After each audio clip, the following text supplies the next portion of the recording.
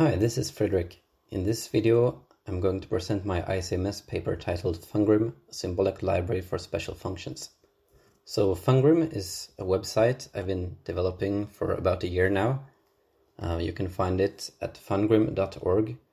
So Fungrim is um, short for the mathematical functions grimoire, and grimoire means uh, a book of magic formulas. And the magic formulas in this case are special function identities and uh, theorems for mathematical functions. Uh, so it's essentially an online reference work for mathematical functions, and it has right now around 3,000 entries. Um, just one example is this entry for the functional equation of the Riemann zeta function.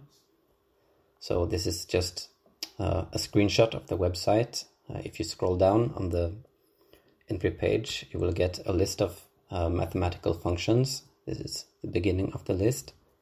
Um, and you can click on some uh, link to get a topic for a function like the Riemann zeta function. This is the topic page for the Riemann zeta function. Um, so there are lots of entries in different sections. First, you get a definition, um, and there is also an illustration of the Riemann zeta function in the complex plane. Um, then further down on the page, you get lots of different entries. Um, for example, the functional equation, um, some inequalities, uh, the Euler-Maclaurin formula, um, and many others that are not shown here. Um, and if you click on the details for an entry, you will get some more information. Like for this inequality, um, here you can see the expanded view after clicking on details. So you see the formula itself, uh, and then you see the assumptions. So in this case, it's a formula involving a one free variable s, and s is a complex number, and there is a condition for the formula to be valid. Uh, in this case, s has to have a real part greater than 1. Uh, then below you get TeX source code that you can copy and paste into your own papers. Uh, there is a table of uh, definitions for the symbols that appear in the formula. Um, and there are also links that you can click on to get more information about each symbol. Uh, at the bottom, you see the source code. Um, so this is what is actually in the database. It's um, symbolic expression uh, describing um, the formula and metadata. Uh, so the database itself is just um, a list of symbolic expressions like this, and the website is generated automatically um, from this source code, including uh, the TeX code, which is uh, generated automatically.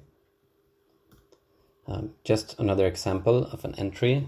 This is uh, the modular transformation for uh, Eisenstein series. So in this case, there are uh, several parameters appearing in the formula, and there are some uh, more complex constraints. tau has to be a complex number in the upper half plane. A, B, and C, D have to be integers such that uh, this matrix belongs to SL2Z.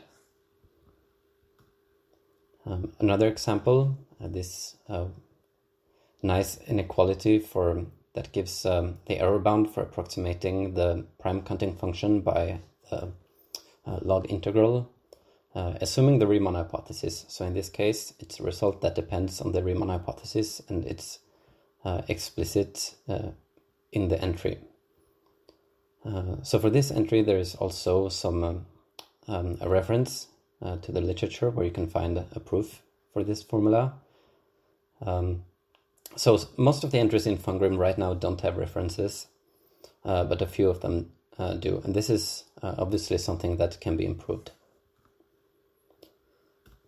So an important question you might ask about Fungrim is um, why create yet another reference work on special functions? Uh, there are many to choose from already, uh, more or less specialized.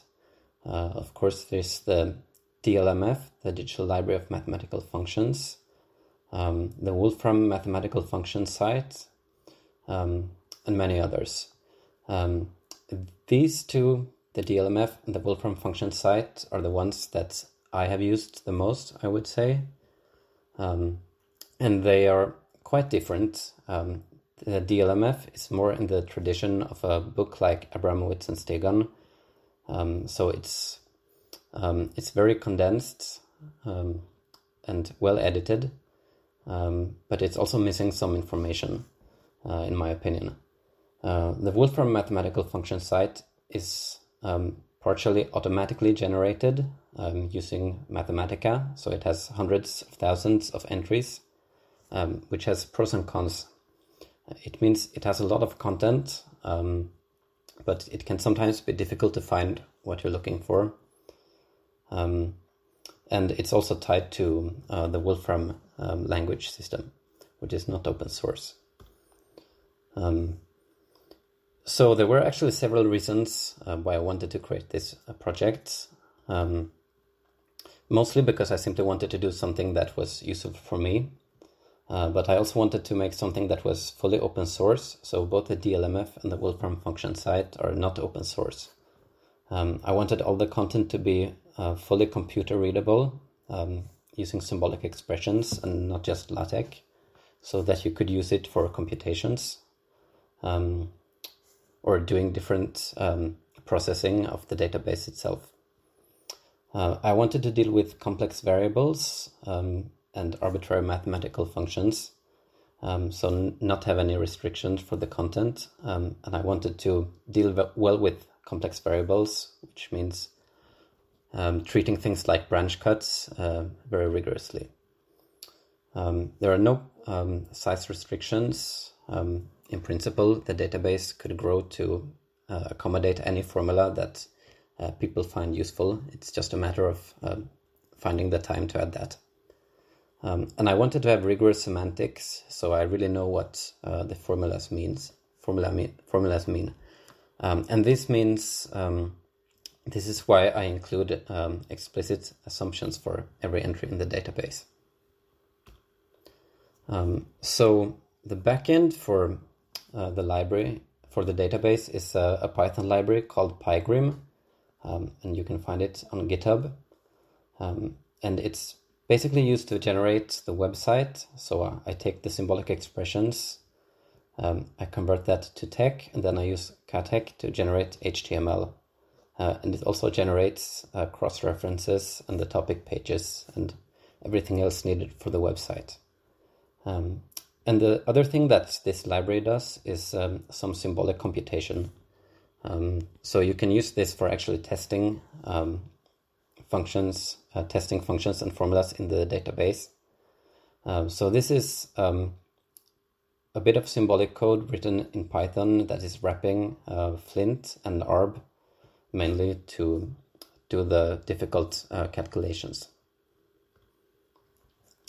Um, so for the database, I decided to um, develop um, a simple symbolic expression language uh, from scratch.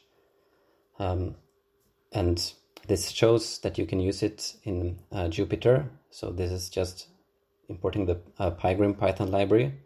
And what you see here is on the right hand side is an example of uh, a symbolic expression in what I've named the Grim uh, formula language. Uh, so in this case, it's this source code and it produces this formula rendered uh, to LaTeX. Um, and you can do some manipulations with Pygrim. In this case, for example, you could replace capital N with a concrete value. Then you can call the eval method um, on this formula, which evaluates this um, to its concrete value. Um, so I'm using a very simple syntax here. It's really just um, the composition of function calls, and then you have arithmetic overloading through Python. Uh, and the default is that formulas don't evaluate. Um, if you enter a formula like this, you get it unevaluated, and you have to do eval explicitly to get any form of simplification or evaluation. Um, so you can write simple mathematical formulas and simple functional programs involving mathematical objects, but uh, this is not intended to be um, a general purpose programming language like uh, most computer algebra systems use. Um, you're supposed to embed it in something like Python uh, and then use Grim expressions um, just for describing mathematical formulas. And then you can use something like Python for actually manipulating the formulas. Uh, here's another example um, of some formulas. It's a formula of the Dedekind eta function. You can evaluate it symbolically. You can call the n method um, to get a numerical enclosure computed using ARB. Um, and this is for the evaluated version. And you can see that these enclosures agree. So it's a check that uh, this formula is valid. Um, so the symbolic engine in Pygrim, it does some simple evaluation, um, some inferences.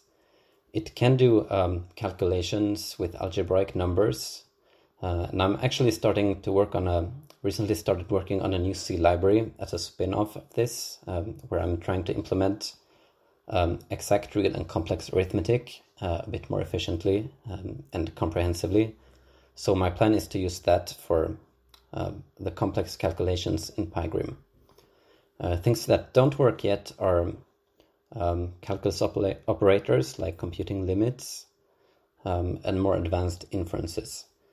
Um, but it turns out that um, just the simple um, symbolic manipulations I've implemented so far actually work quite well for uh, developing and testing the database. Um, now, one of the main reasons why I did something uh, from scratch instead of using an existing computer algebra system is that um, I think it's a big problem both in many of the existing reference works and computer algebra systems that uh, formulas are only really correct modulo special cases, which means that um, a formula might not be valid for some exceptional set of points and on branch cuts or for infinities. And this is often not explicitly documented. Um, if you go to the Wolfram Mathematica documentation, um, you can find actually warnings like this that the answer might not be valid for certain exceptional values of the parameters. Uh, in this case, I think uh, it's from the documentation for the ODE solving that you can get uh, solutions of ODEs um, that might not be valid at some exceptional points. Um, so in general, the user has to um, check the details, check the special cases, and maybe fill in the gaps. Um, and this means you cannot use um, computer algebra system um, or the formulas you find in the literature directly for uh, theorem proving. You have to do some work to check that they are correct. Uh, and it's really difficult to test a system like this automatically uh, because you don't really know if you if you get an inconsistency, if it's a problem with the test code or a problem with the implementation or a bug in the uh, formula. So this is something I want to avoid by having a really mathematically consistent semantics for um, the Grim formulas.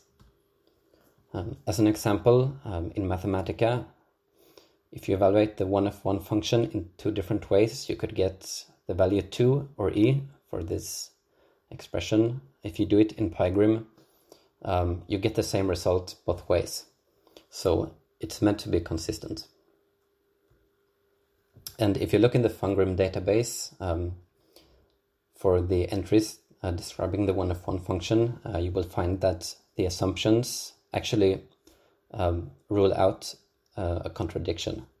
So in this case, this entry is applicable, uh, but the one at the bottom, which give, would give you e instead of 2, uh, is not applicable. So there is no contradiction because of the explicit assumptions. Uh, so working with um, Pygrim, um, if you simplify formulas or evaluate formulas, um, typically nothing will happen um, unless you specify assumptions for the variables.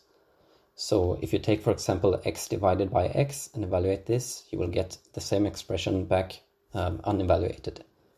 If you specify that x should be a complex number, then you still get uh, x divided by x unsimplified. Um, but if you explicitly specify that x is not equal to 0, uh, then it simplifies to 1, because that then we have ruled out the division by 0. Um, and at the bottom you see an example with the constraint for the sine function where it evaluates to 0 where um, the variable n is any integer. Um, so this is used for testing formulas. Um, let's say you want to test the formula square root of x squared equals x with the assumption that x is a real number. Um, you can enter this formula in Python and use the test method. You write formula dot test and you specify the variables and you give the assumptions. Uh, and then the code will plug in random values um, and check if the formula is valid. So it's valid for the first few values, but it's not valid for uh, minus one half. Um, in fact, it's not valid for any negative numbers. Um, so we find that uh, the formula is not correct with these assumptions. Uh, if we add correct assumptions, uh, we could, for example, specify these assumptions, um, then uh, the test code passes. Um, here's a more complex example from the database. It's um, a formula giving error bounds for um, an approximation of an elliptic integral. So you have um, three parameters and a bit more complex calculations, and there are some more complex assumptions uh, for the variables. So we can test this, um, and it passes nicely. Um, so I've been able to test the whole uh, database, and it takes a few hours.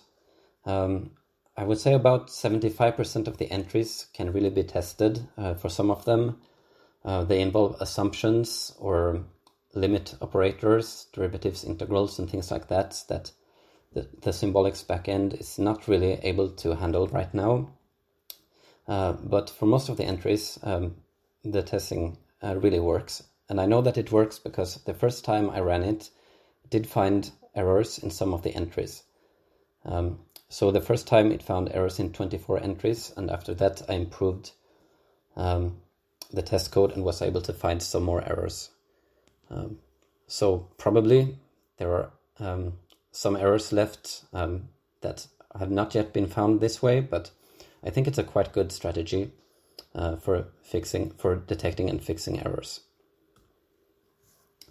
Um, so what are my plans for the future development?